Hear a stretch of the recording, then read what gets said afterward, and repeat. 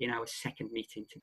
So I think we're ready to start, and we'll start appropriately uh, with a word of prayer. So let's come together as a family and pray.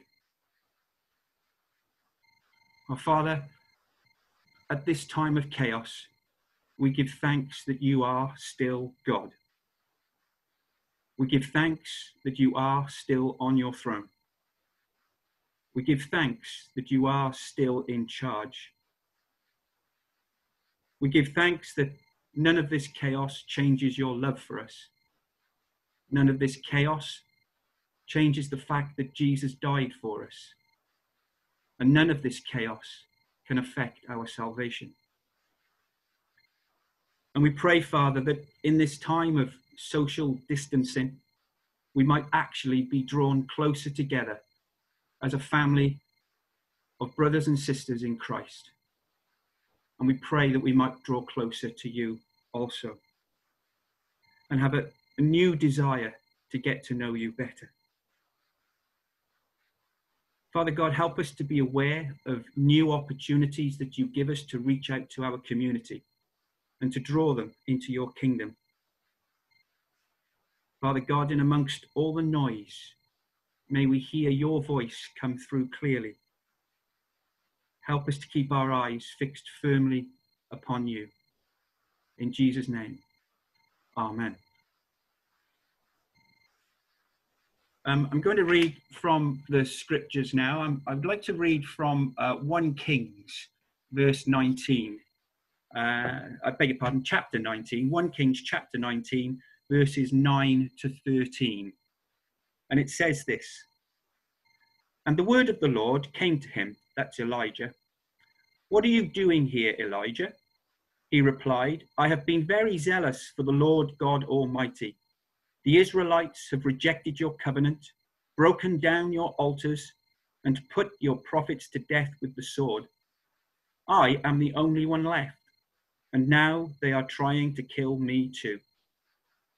The Lord said, Go out and stand on the mountain in the presence of the Lord, for the Lord is about to pass by. Then a great and powerful wind tore the mountains apart and shattered the rocks before the Lord. But the Lord was not in the wind. After the wind, there was an earthquake, but the Lord was not in the earthquake. After the earthquake came a fire, but the Lord was not in the fire. And after the fire came a gentle whisper. When Elijah heard it, he pulled his cloak over his face and went out and stood at the mouth of the cave.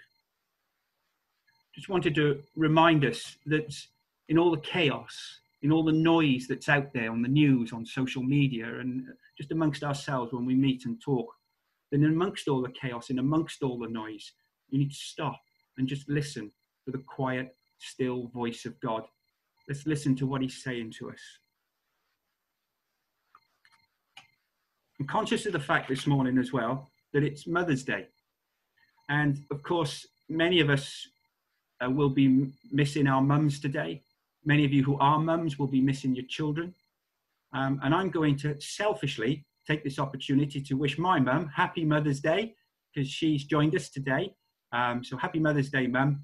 Um, and let's just remember that there are lots of uh, mums out there who were missing their children and lots of children who are missing their mums.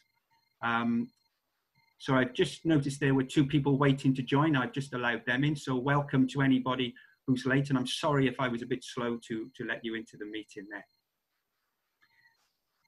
So I want to bring the word to you. And I want to take a look at Colossians chapter 1, verses 1 to 14. And I wanted to just explain a little bit about why I chose this passage. I think it's probable that we might have to meet like this virtually over the computers for quite some weeks to come. So I thought it would be a good idea to pick a book and to start to work through a book. And I've chosen Colossians.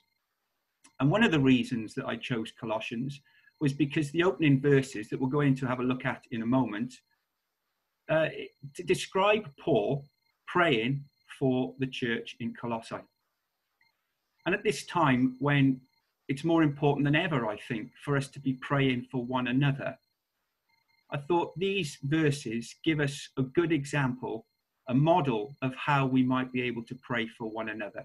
So we're going to look at the scripture and then we're going to look in a little bit more depth at how uh, we can use these, uh, these words of scripture to form a model to pray for one another. What I'm going to do now, if you'll bear with me, is I'm going to try and open a screen that will bring up the scripture. Um, you'll soon see that I'm no expert here, but it's on its way. All right, so I'm hoping that you're all now seeing a blue screen that says our church is not closed. And then hopefully now you can all see the scripture reading. So I'm going to read through this. So Colossians chapter 1, verses 1 to 14. Paul, an apostle of Christ by the will of God, and Timothy, our brother, to the saints and faithful brothers in Christ at Colossae. Grace to you and peace from God our Father. We always thank God, the Father of our Lord Jesus Christ, when we pray for you, since we heard of your faith in Christ Jesus and of the love that you have for all the saints, because of the hope laid up for you in heaven. Of this you have heard before in the word of the truth, the gospel, which has come to you, as indeed in the whole world it is bearing fruit and increasing, as it also does among you, since the day you heard it and understood the grace of God in truth. Just as you have learned it from Epaphras, our beloved fellow servant. He is a faithful minister of Christ on your behalf and has made known to us your love in the Spirit. And so, from the day we heard, we have not ceased to pray for you, asking that you may be filled with the knowledge of his will in all spiritual wisdom and understanding so as to walk in a manner worthy of the Lord, fully pleasing to him, bearing fruit in every good work, and increasing in the knowledge of God, being strengthened with all power according to his glorious might, for all endurance and patience with joy, giving thanks to the Father who has qualified you to share in the inheritance of the saints in light. He has delivered us from the domain of darkness and transformed, transferred us to the kingdom of his beloved Son, in whom we have redemption, the forgiveness of sins. This morning, I'd like to just zoom in and focus on a few of those verses, and it's verses 9 to 11. And just to recap, this is what those verses say.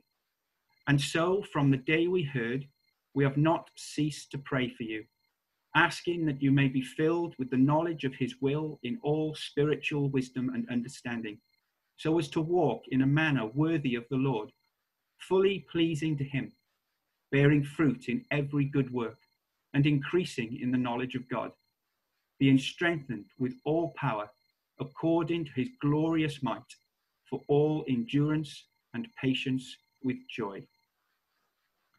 So these are the verses I'd like to, uh, to, to, to, look at this morning and to try and break that down into uh, a model, a pattern for praying for others.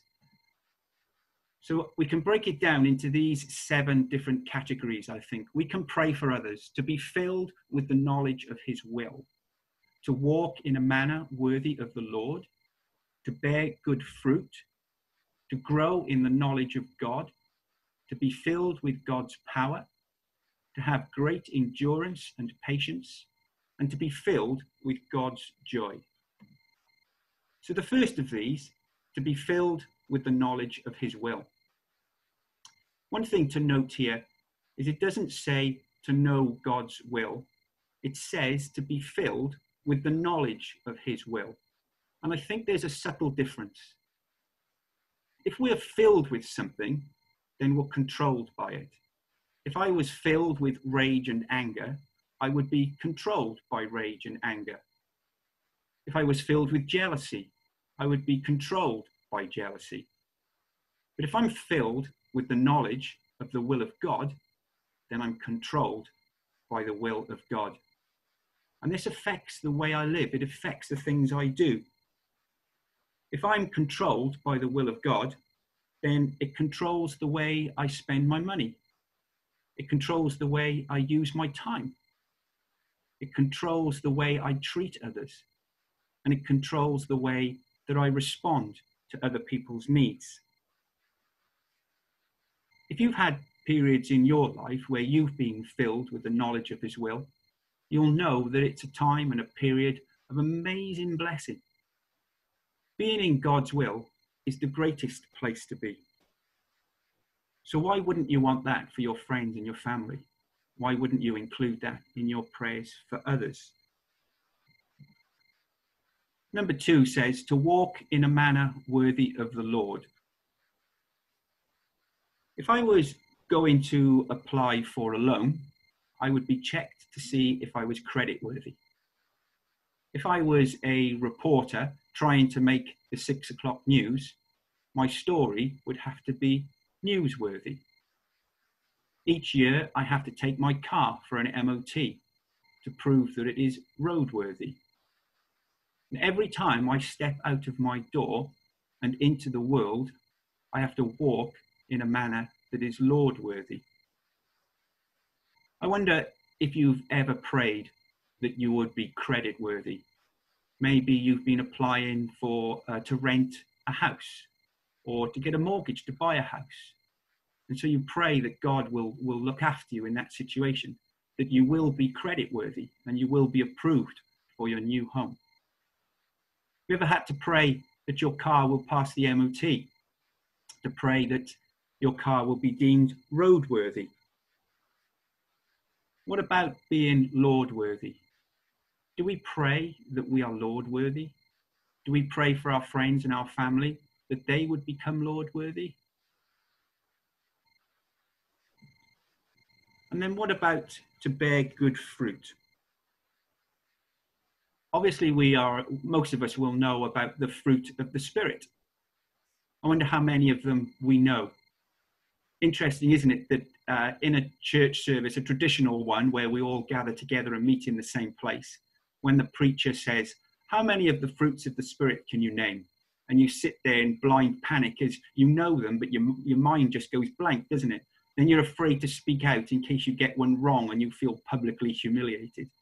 Well, in this environment, in the quiet and the peace and the secrecy of your own home, you can start to try and name fruits of the Spirit, can't you? And, and know that nobody else is listening. So, just in a few moments of, of quiet, just see how many you can come up with.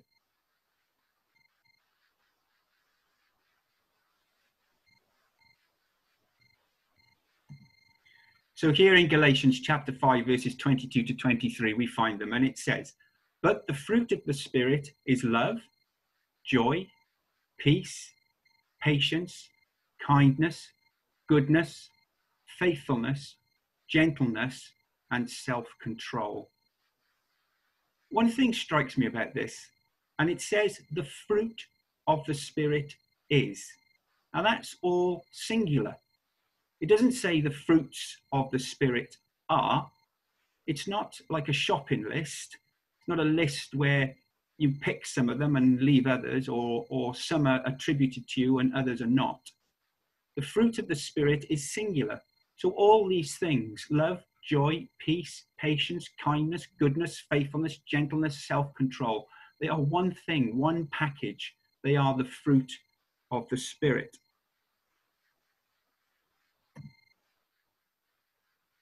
And our fourth one, to grow in the knowledge of God.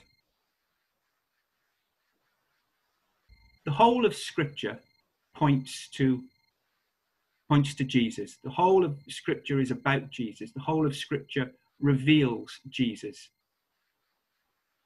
And if we want to grow in the knowledge of God, then we need to read the Scripture.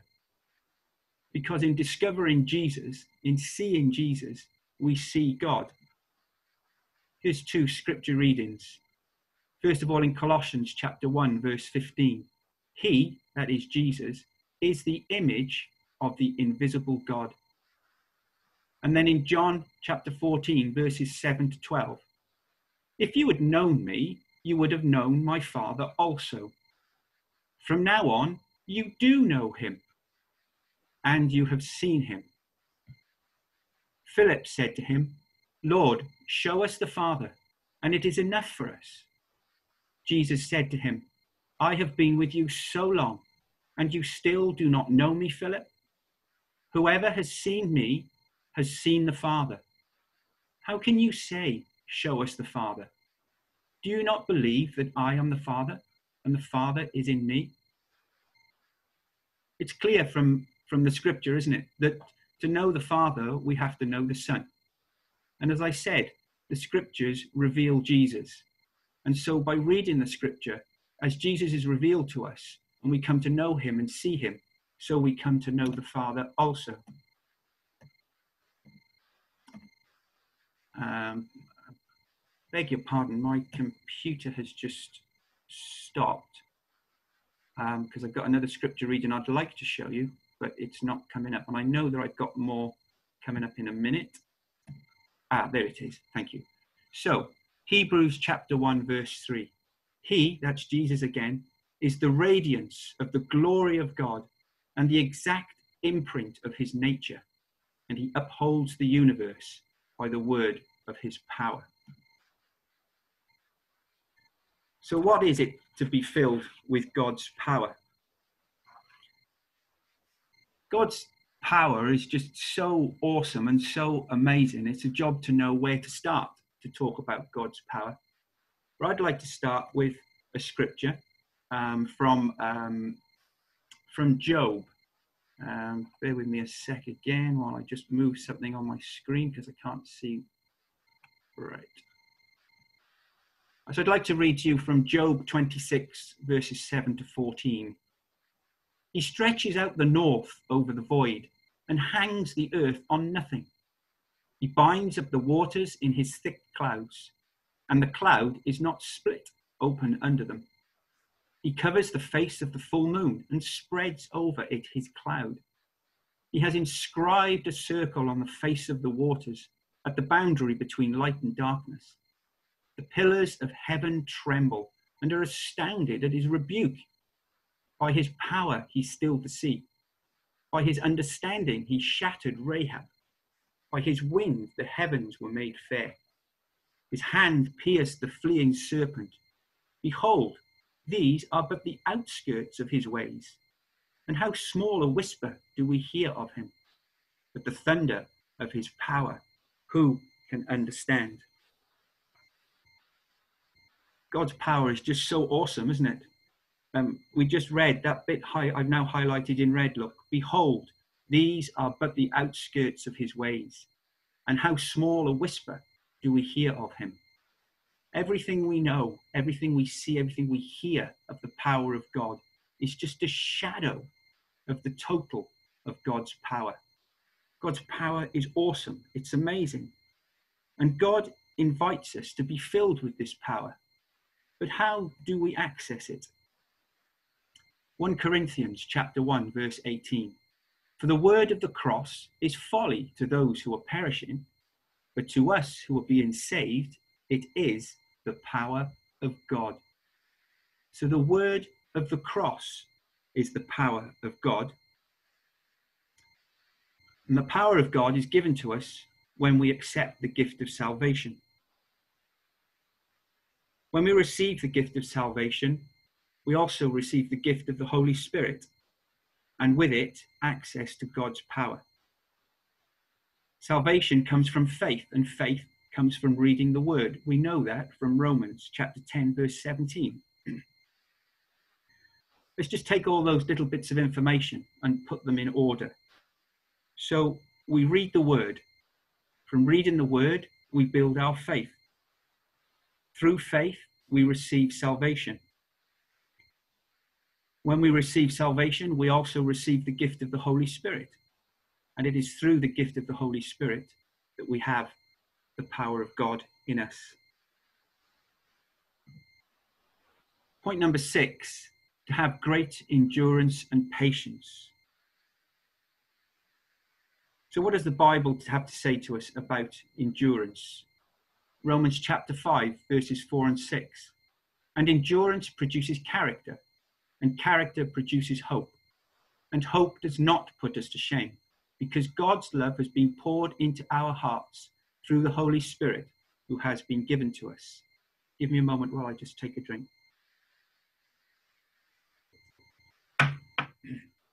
And then James chapter 1, verses 12 to 18. Blessed is the man who remains steadfast under trial, for when he has stood the test, he will receive the crown of life which God has promised to those who love him. So we're possibly heading into a time of great trial, a time that will demand endurance. We might begin to wonder where God is in all of this. We might be challenged by other people. Where is your God during our time of suffering? Well, I'll tell you where our God is during this time of suffering. Our God is on his knees with the mother of a child whom she cannot feed. God is with the weeping man who is worried because he cannot pay his mortgage and keep a, house, a roof over his family's head. God is cradling the child who has lost a parent. I'll tell you where God is. God is right in the midst of all our suffering. So when we pray, why do we pray to be removed from suffering when the God that we yearn for is right in the heart of our suffering? What we're called to pray for is endurance endurance to get through that suffering. And knowing that in our suffering, we are sharing in the suffering of Christ. And in doing so, we become heirs to the kingdom of heaven.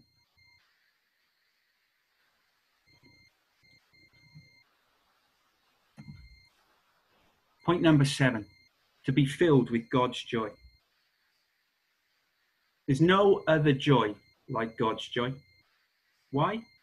Because God is the same yesterday, today, and forever. There are so many places where we look for joy that are transient and can disappear in a heartbeat.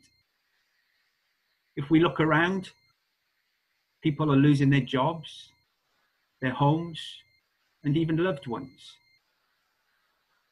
Now, of course, these are things where we do find joy in our jobs, in our homes, and obviously in our loved ones but they are for a season and they can be taken away from us.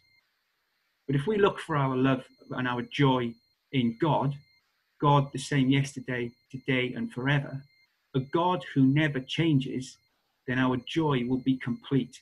It will be constant and it will be eternal. God is the giver of all good things, and He wants us to find joy in them.